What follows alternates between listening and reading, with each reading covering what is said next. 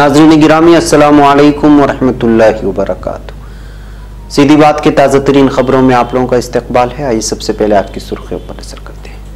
शर्जील इमाम ने एक ही एजेंसी से जाँच की मांग की, सुप्रीम कोर्ट ने दिल्ली पुलिस से मांगा जवाब। लॉकडाउन के दौरान मस्जिद में अदा कर रहे थे नमाज़ कलबुर्गी में चौदह लोग हुए गिरफ़्तार। महाराष्ट्र कंटेनमेंट जोन में ड्यूटी करने वाले 40 पुलिस अहलकार कोरोना पॉजिटिव। कौमी यकजहती की अनोखी मिसाल लॉकडाउन की वजह से बुर्दवान में फंसे कश्मीरी नौजवानों के लिए हिंदू परिवार इफ्तार का, कर रहा है उत्तर प्रदेश बीजेपी रुकन असम्बली ने योगी हुकूमत पर लगाया कमीशन खोरी का इल्ज़ाम। कोरोना का खौफ फरीदाबाद के बाद गुरुग्राम सरहद भी सील गाड़ियों की लगी लंबी कतारें। दिल्ली में कोरोना मुतासर की तादाद तीन हज़ार पाँच सौ पंद्रह हुई, आजादपुर मंडी की तेरह दुकानें हुई सील। कोरोना बहरान से खौफजदा सहाफियों को अरविंद केजरीवाल ने दी खुशखबरी। कोरोना महाराष्ट्र के नांदेड़ से पंजाब लौटे जायरीन में से एक सौ तिरासी को हुआ इन्फेक्शन कोरोना बहरान के दौरान सुप्रीम कोर्ट का रवैया मायूस कन रहा है, जस्टिस मदन बी लोकर का बयान। जर्मनी ने हिजबुल्ला को दहशतगर्द तंजीम करार दे दिया। शिमाली इराक में तुर्क फिजाया की कार्रवाई, तीन दहशतगर्द हलाक। मेहनत कशों के खून पसीने की कमाई, हमारा सरमाया है, एर्दोगान का बयान। अफ़गानिस्तान सड़क किनारे नसब बम फट गया, पाँच अफराद हलाक। नाइजीरिया, बोको हराम के खिलाफ ऑपरेशन ग्यारह दहशतगर्द हलाक। नाजरीन गिरामी अल्लाम वरहमतुल्लाहि वबरकातुहू। सीधी बात की ताज़ा तरीन खबरों में आप लोगों का इस्तकबाल है। नाजिन में अंसार अज़ीज़ नदवी आज की ताज़ा तरीन खबरें लेकर आप लोगों की खिदमत में हाजिर हूँ। तफसीत में जाने से पहले मैं आप लोगों को इतला कर दूँ कि आज के दोनों प्राइम टाइम शाये हो चुके हैं। जिन्हें हबाब ने अभी तक हमारे इस दोनों प्राइम टाइम को नहीं देखा, जाए देखे, दूसरों तक पहुँचाने की कोशिश करें।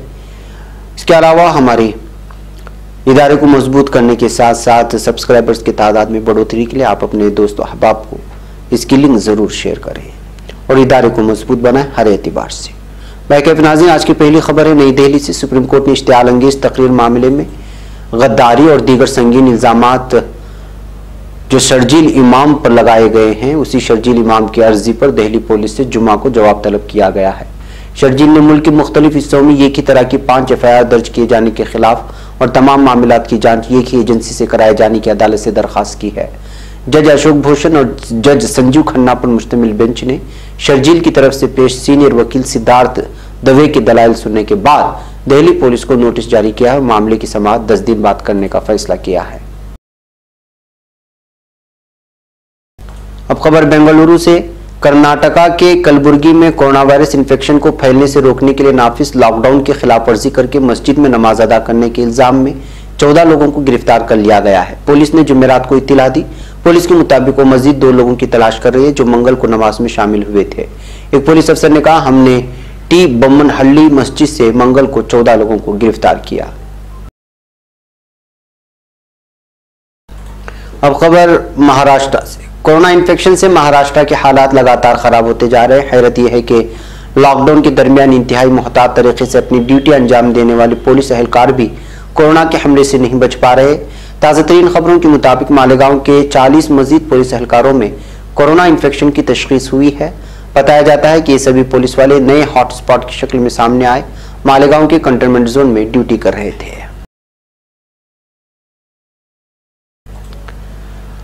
अब खबर नई दिल्ली से, हमारा मुल्क हिंदुस्तान अपनी तहजीब व सकाफत के साथ साथ फिर कवाराना हम आहंगी के लिए भी जाना जाता है।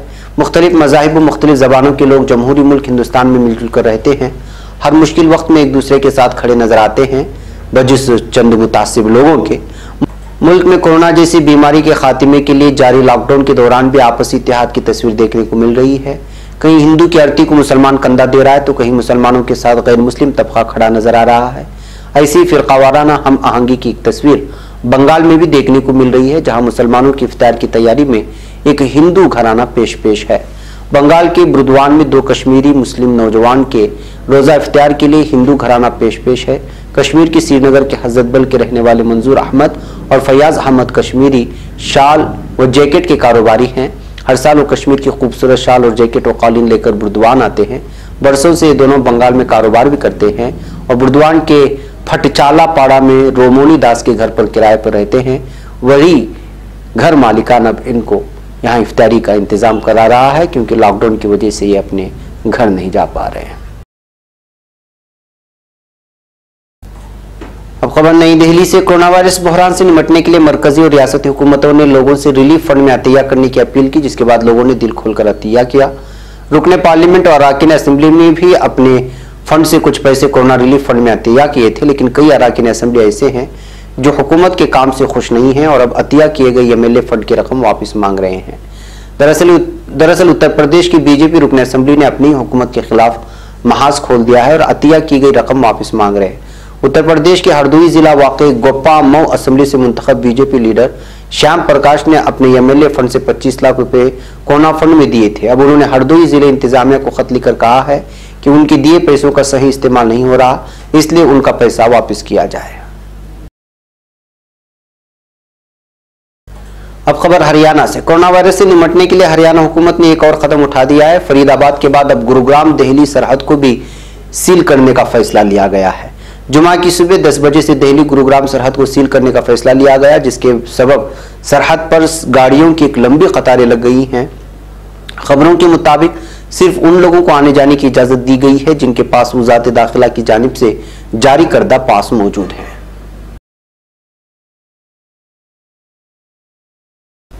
अब खबर नई दिल्ली से, राजधानी में जुमेरात को कोरोना मुतासरीन की छिहत्तर नए सामने केस आने के बाद से मुतासरीन की कुल तादाद बढ़कर तीन हज़ार पाँच सौ पंद्रह हो गई है। दिल्ली हुकूमत के महकमे सेहत की जानब से देर रात जारी आदाद शुमार में बताया गया है कि कौमी राजधानी में कोविड नाइन्टीन से तीन मरीजों की मौत होने से महलूकिन की तादाद उनसठ हो गई। दूसरी जानब, दो मरीज़ सेहतमंद भी हुए। उसके साथ ही अब तक एक हज़ार चौरानवे अफराद कोरोना वायरस से जंग जीत चुके हैं। वहीं यहाँ पर कोरोना के सरगर्म मामलों की तादाद दो हज़ार तीन सौ बासठ है। एक और खबर, नई दिल्ली से पूरे हिंदुस्तान में कोरोना का कहर बुरी तरह से फैला हुआ है, जिस पर काबू पाने की कोशिशें भी लगातार जारी है। कोशिश ये भी हो रही कि हर उस शख्स का टेस्ट किया जाए जो ज़रूरी काम के लिए फ़ील्ड पर है, ताकि ये पता लग सके कि कौन कौन कोरोना इन्फेक्शन की शिकार हैं। मीडिया एहलकारों का भी कई रियासतों में कोरोना टेस्ट कराया गया है। दिल्ली में भी मीडिया एहलकारों का टेस्ट हुआ था, जिसके ताल्लुक से वज़ीर आला अरविंद केजरीवाल ने एक ट्वीट किया है। उन्होंने बुध के रोज किए गए ट्वीट में खुशखबरी दी है कि 523 मीडिया एहलकारों में से सिर्फ़ तीन ही कोरोना पॉजिटिव हैं। अरविंद केजरीवाल ने साथ ही कहा कि जो इन्फेक्शन का शिकार हैं, वो उनके जल्द ठीक होने की दुआ करेंगे। अब खबर नई दिल्ली से। महाराष्ट्र के नांदेड़ से बड़ी तादाद में पंजाब लौटे सिख अकीदतमंदों कोरोना से मुतासर पाए गए हैं। इंडियन एक्सप्रेस की एक रिपोर्ट के मुताबिक गुजशत कुछ दिनों में महाराष्ट्र के नांदेड़ से पंजाब लौटे अकीदतमंदों में से एक सौ तिरासी लोगों के कोरोना से मुतासर होने की तस्दीक हुई, जिसके बाद रियासत में कोरोना के कुल मामलों में से तैंतीस आशार्य सात फ़ीसदी हिस्सेदारी इन्हीं सिख अकीदतमंदों की है। अब खबर नई दिल्ली से सुप्रीम कोर्ट के रिटायर्ड जज जस्टिस मदन बी लोकर ने कहा है कि कोरोना बहरान के दौरान जिस तरह से सुप्रीम कोर्ट काम कर रहा है, वो बिल्कुल मायूसकुन है। उन्होंने कहा, यह अपनी आईनी जिम्मेदारियों को सही तरह से नहीं निभा रहा। हिंदुस्तान का सुप्रीम कोर्ट अच्छा काम करने में अहल है, लेकिन मुझे लगता है कि उन्हें अपना जायजा लेने की ज़रूरत है। उन्हें गौर फ़िक्र करके पता लगाने की ज़रूरत है कि वो आगे कैसे बढ़े। यकीनी तौर पर कोर्ट को और ज़्यादा फाल होना चाहिए। मुदतकार के बाद जस्टिस मदन लोकर दिसंबर 2018 में सुप्रीम कोर्ट से रिटायर्ड हुए थे। दीवायर के लिए सीनियर सहाफी किरण थापर के साथ एक इंटरव्यू में जस्टिस लोकर ने कोरोना बहरान के दौरान कोर्ट की कार्रवाई और उनके ज़रिए लिए गए फैसलों पर तफसील से बात भी की।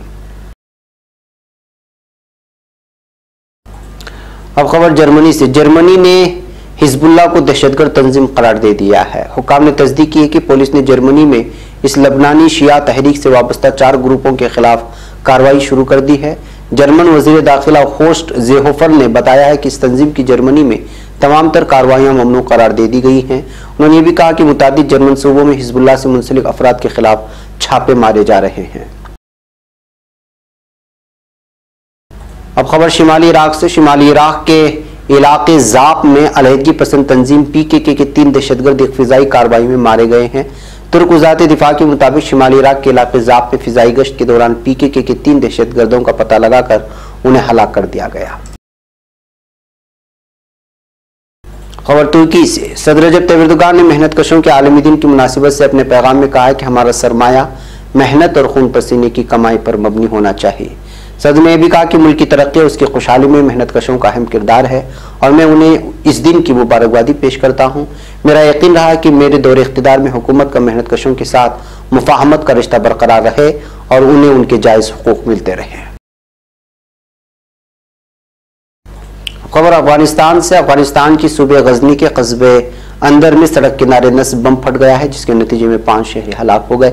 सुबह इंतजामिया की तर्जुमान वाहिदल्ला जुमा ज़्यादा के मुताबिक ये बम धमाका नज़र खान किला नामी इलाके में उस वक्त हुआ, जब वहाँ से एक गाड़ी गुजर रही थी। जुमा ज़्यादा का कहना है कि इस धमाके में बच्चों समेत पाँच अफराद हलाक हो गए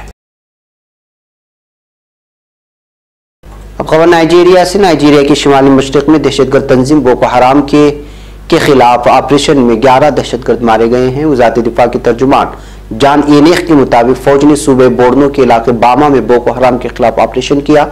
इस ऑपरेशन में 11 दहशतगर्द हलाक और दो को ज़िंदा गिरफ़्तार करते हुए भारी तादाद में असलहा भी बरामद कर लिया गया है।